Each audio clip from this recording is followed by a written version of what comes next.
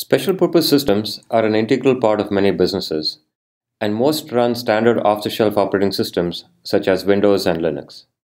Many of these have been around for a decade or more and run versions of the OS that are no longer supported or difficult to patch, leaving them extremely vulnerable to cyber attacks.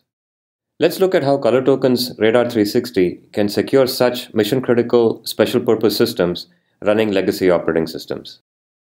Here's a ticket vending machine that's based on an industrial PC running Windows XP. This is a goldmine for hackers as they can capture ATM passcodes and credit card numbers. Let's assume the hacker has physical access to the machine, and the first thing he does is activate the administrative mode and shut down the kiosk application. The hacker now has full access to the operating system. He can open a command prompt or even the task manager to see the running processes. He then installs a sniffer that will capture ATM pins, credit card numbers, and other data traffic, and restarts the kiosk application. This kiosk will now function as usual, but will also send customer information back to the hacker's command and control center. Now let's look at how ColorTokens can lock down the system and prevent such attacks. I've installed the Radar 360 agent on an identical system and have full visibility and control from the dashboard. The process tree shows all processes running on the system. To lock down the system, we need to define a whitelist of all allowed applications and processes.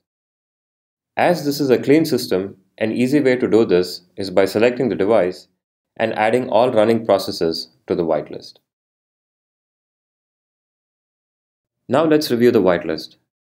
Radar 360 adds several default entries based on the operating system. These processes are generally necessary for normal operation, but you can remove any entries not essential to your specific configuration. And here are the entries unique to our system that we just added. Once we lock down the system to this configuration, any application or process not in this list will be terminated if already running or cannot be started. So let's go ahead and initiate the lockdown.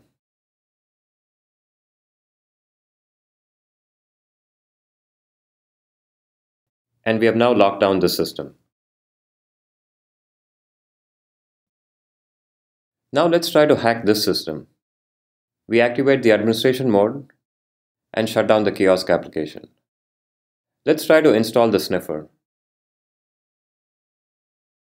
Notice that it does not start. And let's try the command prompt. And this does not run either. And neither does the task manager. The kiosk application starts up normally and we are back in business. So as you can see, we are not able to launch any unapproved application even with full access to the system. Now let's take a look at the dashboard. The event summary clearly shows the applications that were blocked when we tried to start them from the desktop. And that's how easy it is to secure special purpose systems even if they run on unpatched and vulnerable platforms.